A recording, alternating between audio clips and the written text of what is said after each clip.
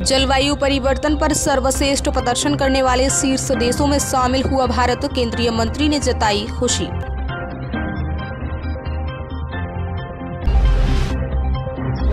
उत्तरी इराक विश्वविद्यालय के छात्रावास में आग लगने से 14 छात्रों की मौत 18 घायल।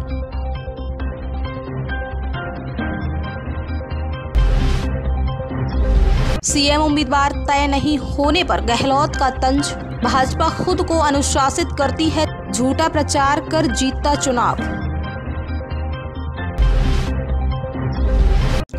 छत्तीसगढ़ का कौन होगा सीएम, कब होगी घोषणा? बीजेपी के केंद्रीय पर्यवेक्षक अर्जुन मुंडा ने दिया बड़ा अपडेट।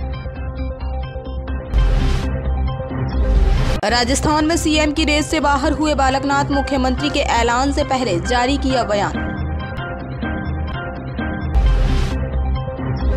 मोहब्बत की दुकान से 200 करोड़ की काली कमाई, भूपेंद्र चौधरी का धीरज साहू पर चौंकाने वाला दावा। चेन्नई में साबुन पाउडर के गोदाम में लगी भीषण आग 100 करोड़ का माल जलकर हुआ खाक।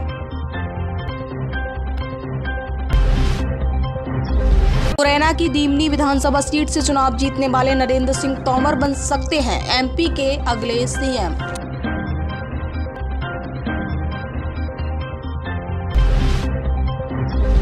नया नोएडा का काम पकड़ेगा रफ्तार सीएम योगी ने प्राधिकरण को दिए आदेश।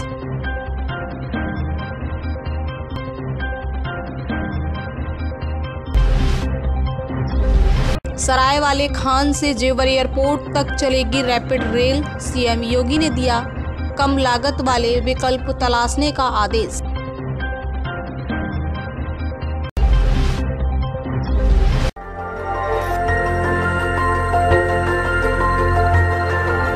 देखते रहिए डीवी भारती समाचार, नज़र हर खबर पर।